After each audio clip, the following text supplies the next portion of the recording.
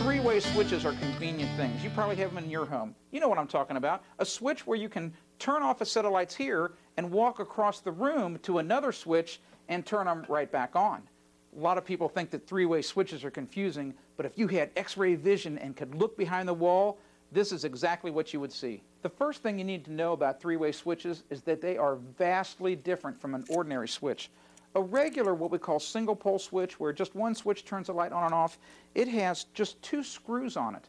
And sometimes you'll find it, it'll have the green ground screw. Almost all the switches and outlets have that.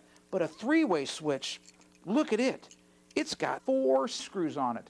And then if you look even a little closer, you're going to find that one of the screws is painted black. That's very important to know because this black screw, that's where the power comes into the first three-way switch and then at the second three-way switch, that's where the power goes out to the light fixture. Make sure that when you make the loop in the wire that you're bending it in a clockwise fashion as you look at it. Insert it behind the head of the screw so that when you turn the screw, it closes up the loop.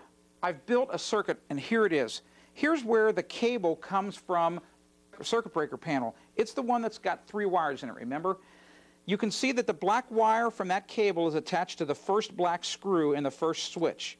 The brass screw gets attached to the red wire that goes between the two three-way switches, and the other brass screw, you attach the black wire in that same wire going to the other three-way switch.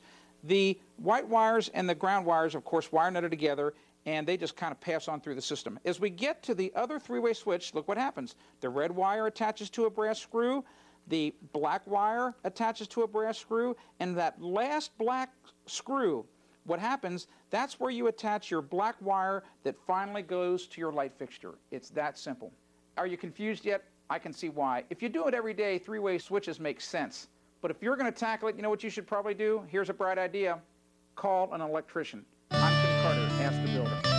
If you want to discover more home improvement tips, go to AskTheBuilder.com.